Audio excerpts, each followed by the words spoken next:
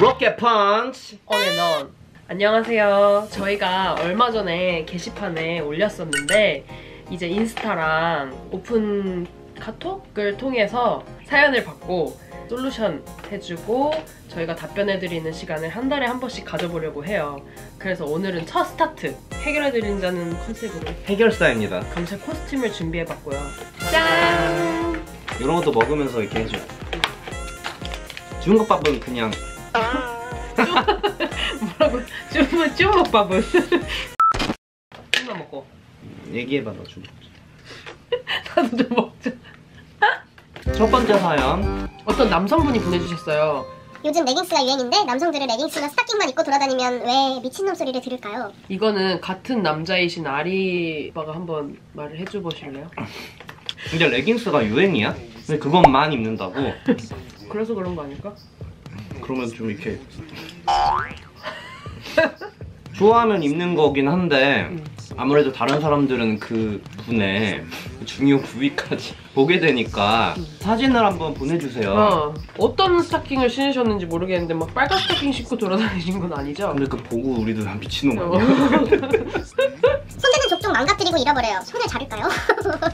나는 공감해 나도 약간 마이너스의 손이라 그러잖아 약간 부셔지고 어. 잃어버리고 망가지고 자꾸 떨어뜨리고. 근데 그건 본인 부주의이자 약간 본인 성격 아닌가? 근데 그런 시즌이 있는 것 같아. 뭐만 되면 자꾸 망가뜨리고 막 이런 시즌이 확실히 있어요. 근데 그거 지나면 괜찮을 건데. 아, 그럼 안 그런 시즌도 있나요? 예. 지금은 안 그래요? 그러다 다시 그런 시즌으로 돌아와요?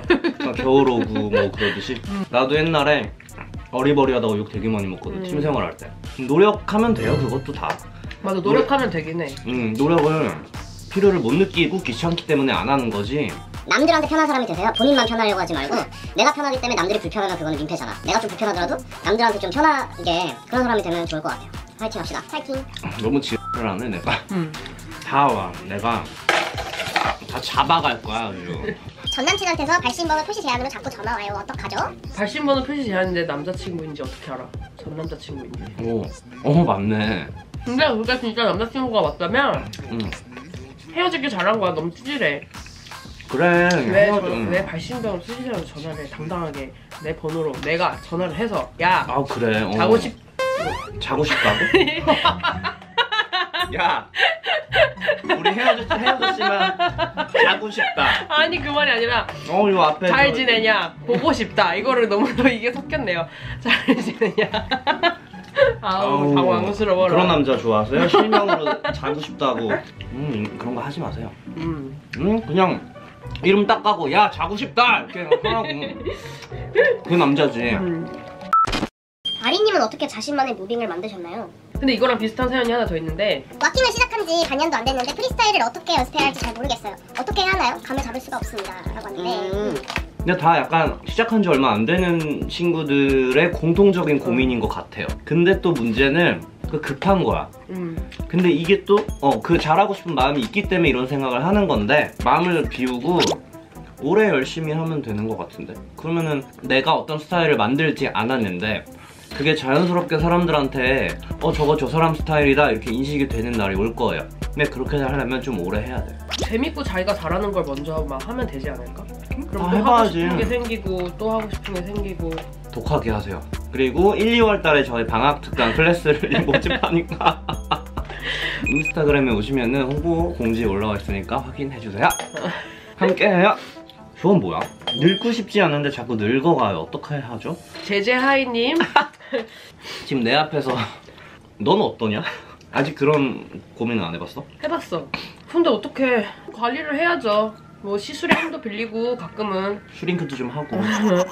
솔직히 지금도 내가 마흔 살 때의 내 모습이 상상이 되지는 않아. 스물다섯 때도 그랬고 서른다섯 때의 내 모습이 상상이 되지는 않았었어 그때도. 근데 그때쯤에 현재의 모습이 난 항상 나쁘지 않았던 것 같아. 근데 그랬다는 거는 마흔이 돼도 그때의 내 모습이 좋을 거란 얘기라고 생각해. 관리하세요.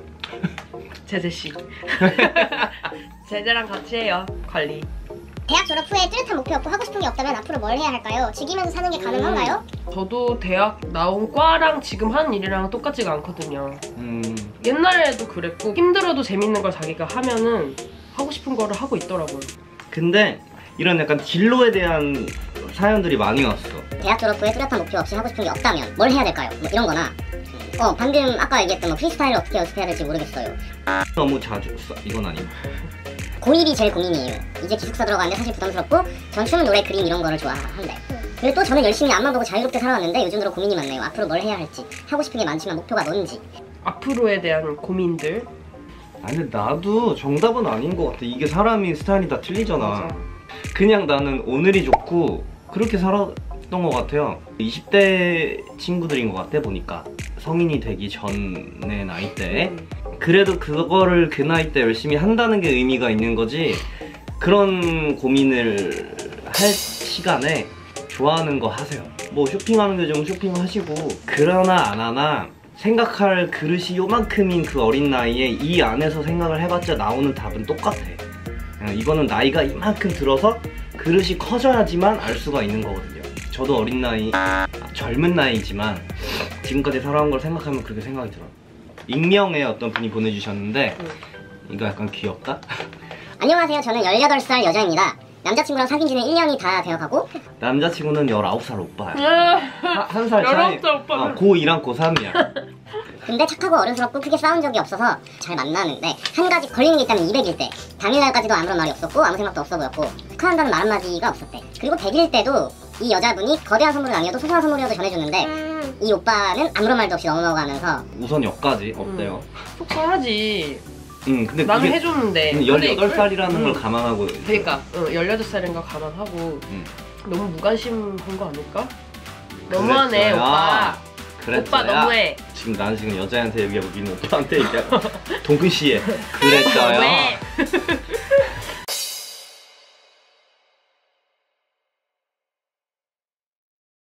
그러니까 결론은 제가 이런 문제를 안 짚고 넘어가면 잘 만날 수 있을까요? 절 좋아하게 하는 걸까요? 요, 요. 그래 입시 때문에 근데 스트레스 받을 수 있긴 해. 나도 입시 때 예민했으니까. 여자의 입장에서 얘기를 해, 해봐 난 남자 의 입장에서 얘기를 해볼게 서운해 서운하지 왜냐면 엄청 뭐 비, 비싼 뭔가를 사달라 이것도 아니고 소소하게 진짜 초코파이로 쌓은 케이크라도 바라는 거 아닐까? 근데 막 100일 때도 그거 해주고 200일 때도 초코파이가 두 박스를 얹었어 근데 생일 때 초코파이가 바나나 맛 초코파이야. 어우. 어떻게 이는- 하네. 스페셜이네. 초코파이를 좋아하는구나. 아니 아무튼 그렇게 뭐 엄청 거대한 걸 바라는 것도 아닌데 그냥. 오다가 주웠다 이유 있잖아. 그 초코파이 하나 허세. 던져주고. 허세. 또 초코파이가 왜 자꾸 나와 그걸 왜 던져? 굳이 그냥 주면 되지. 왜 던져? 야 오다 주웠다. 그러니까 남자 입장에서 얘기를 하자면 약간 케이스가 여러 가지 있는 것 같아. 막 기념일 여자친구 위해서 챙기고 막 그러는 모습을 보이기 싫어하는 남자들이 있어요. 음... 야너 여자한테 뭐 그런 걸 해주냐? 야 넌 잡혀 사냐? 막 친구들 막, 막 어. 그런 것도 있고 아니면 19인데 여자의 마음을 잘 모르는 것 같아요. 음... 요즘은 다 알잖아. 여자는 사소한 거에 감동을 받고 여자의 언어는 틀리고. 음... 여자랑 대화할 때는 그 말을 따라 해주면 된대 나 이거 맛있어 아 맛있어? 나 오늘 어디 갔다 왔어 아 어디 갔다 왔어? 커피 마실래? 어 커피 마실래? 밥 먹을까? 어? 밥 먹을까 그럼? 뭐 먹을까? 뭐 먹을까? 이게 이렇게 하면 되는데 야가 빠진 남자들은 요거를 또 할 줄 알아 19살 인데다가 또 입시까지 하는 남자가 어떻게 그런 걸 알겠어 그 오빠랑 대화를 많이 하면서 합의점을 찾아봐요. 이게 난 이거 서운해. 왜 나의 마음을 몰라 이러지 말고 차분하게. 내가 할 소리는 아니지만 차분하게 어, 차분하게? 얘기를 해보면서 좀 푸는 것도 좋을 것 같아요. 그러면 좋겠네요 풋풋한 연애 얘기를 했으니까 이제 결혼 준비를 하고 있으신 분인데 가족 행사가 많은 시댁 어쩌면 좋죠? 결혼하기 전이야 근데 벌써 좀 다 가야 돼? 가지 마 이럴 수도 없고 다 가요 이러기엔 너무 스트레스 받고 무슨 행사야 도대체? 영덕 대게 축제도 가고 뭐 모내기도 하고 뭐 모여서 전도 붙이고 숫자수도 하고 뭐 노래방 막 그런가? 그럼 나머지 가족 구성원들은 그걸 화목하고 행복하게 하고 있는 상태인 건가? 그러지 않을까요? 그러니까 지금 알고 걱정을 보니까 하는 다시 거겠지? 또야 아, 또야. 또야 보다. 이건 결혼하고 다시 물어봐 주세요. 진짜 많은지 꼭 얘기해 주세요. 음. 그리고 어떤 내용의 행사인지도 궁금해요. 도대체 뭘 어, 좀 그렇게 많이 해? 디테일하게. 응. 음. 자유분방하고 방목형인 가정에서 자란 신부와 보수적이고 규칙적인 가정에서 자란 신랑의 문화 차이. 근데 그러면은 연애할 때는 어떻게 했대? 그건 또 연애는 둘만의 그쵸. 문제라 틀린 건가? 그쵸. 그지 결혼은 둘만 둘이 보고 하는 하는 게게 아니잖아. 아니라 에피소드가 있었다면 그거에 대해서 얘기를 할 수가 있는데 없었는데 만약에 지레 걱정하는 거라면 음, 겪어보고 나중에 생각해도 되지 않을까? 음, 이것도 결혼하시고 다시 말씀해 네, 주세요. 네. 행복한 결혼 생활 하세요. 결혼 준비 비용은 어떻게 뿜해요? 각자 다 다르지 않나요? 어떤 데는 딱 5대5로 하고 제 친구들 보면은 이모가 냉장고 사주고 뭐 고모가 세탁기 어, 사주고 좋다. 그런 식으로 하면은 다 모이는 거잖아. 뭐 아니면 요즘에는 다 맞벌이라서 그냥 아예 집비랑 혼수랑 싹 다 모든 거를 다 같이 그냥 어떻게 보면은 민감한 부분일 수도 있잖아 그게. 그쵸. 그러니까 당사자 두 분이 대화를 좀 많이 해야 되지 않을까? 근데 진짜 많이 싸운다고 하더라고요. 안 싸우던 부분까지 싸운대. 여기 수맥이 이르잖아.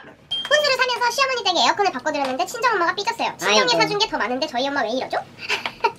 같이 해드리세요. 시댁, 좋네. 친정, 에어컨, 빵! 그러면은 양쪽에서도 말이 안 나오지. 아니면 어. 여자가 시댁에 했으니까 남자가 여자 쪽에 해도 어? 되지. 좋네. 어, 그렇게 서로 해드리세요. 어? 자기 여보 내가 저기 어, 니네 집에 에어컨 해준 거 알지? 어? 내가 있잖아. 어. 그래, 그것도 하나의 솔루션이긴 하겠다. 근데 그건 뭐 싸워. 그때 싸우면 사연을 또 보내주세요. 음. 아시겠죠? 좋네. 오늘의 마지막 사연을 소개해볼게요. 예. 많이 보고 걷고 체험하는 여행을 좋아하는 저와 무조건 먹고 마시고 쉬는 휴양지를 조- 좋아하는 신랑의 신혼여행지를 추천해주세요. 어 나는 신랑 쪽이야. 난 이번에 제주도 갔다 왔는데 정말 쉬지 않고 돌아다녔어요. 엄마 아빠가 그런 걸 좋아해. 근데 저희 엄마 아빠는 다행히 두 분 다 그런 걸 좋아해. 다행이다. 어, 왜냐면 여기 왔으면 여기에 있는 거를 다 보고 가야 되는 스타일이야. 그래서 그래서 제가 나- 죽는 줄 알았어요. 지금 영상이 500개야. 뭐를 어떻게 손대야 될지 모르겠어. 아무튼 저희 가족은 그런데 하루씩 번갈아 가면서 하는 걸 어떨까요? 어 좋네. 하루는 쉬고, 어, 하루는 돌아다니고, 하루는 쉬고, 하루는 돌아다니고. 좋다. 어. 근데 신혼여행 가기 전에 얘기를 근데 모든 건 진짜 다 대화다. 음. 대화를 해보세요. 아니면은 음. 뭐 돌아다니는 걸 좋아하는 여자가 원하는 뭐 여행지를 갔다가 남자가 원하는 휴양지를 또 가서 한 이틀 있으면 어떨까요? 그러면은 그 나라의 그 휴양지에 대해서 남자가 여자한테 가이드를 해주면 여자는 어 남자가 이런 면이 있었구나 이런 걸 또 좋아하는구나 음. 몰랐던 걸 알게 되는 계기일 수도 있잖아요 번갈아서 음, good solution 간단하네. 이게 바로 로켓 펀치 어네넌. 예. 자 이렇게 해서 저희의 로켓 펀치 어네넌. 네. 첫 번째를 해봤는데 저희를 알고서 또 재밌게 봐주시는 분들한테 또 저희 식대로의 그런 솔루션과 재밌는 얘기들을 해드리고 싶어서 앞으로 저희가 한 달에 한 번씩 사연을 소개시켜 드리도록 하겠습니다. 어디에 가면 보낼 수 있나요? 이제 인스타그램 요 아이디로 보내주시거나 아니면 히어로켓단 인스타그램으로 DM을 보내주시면 되고요. 아니면은 저희가 얼마 전에 올린 게시판에 오픈 카톡 주소가 또 있어요. 이렇게 여기다가 보내주시면 되고 혹시나 오늘 사연에 소개 안 된 글들은 재미가 없어서 그런 거예요. 다음 달에 같이 이어서 올리도록 하겠습니다. 다양한 사연들 마구마구 보내주세요. 저희가 재밌게 소개해드리면서 답변을 해드리겠습니다. 네, 그럼 지금까지 로켓 펀치! 언앤언 예. 이었습니다.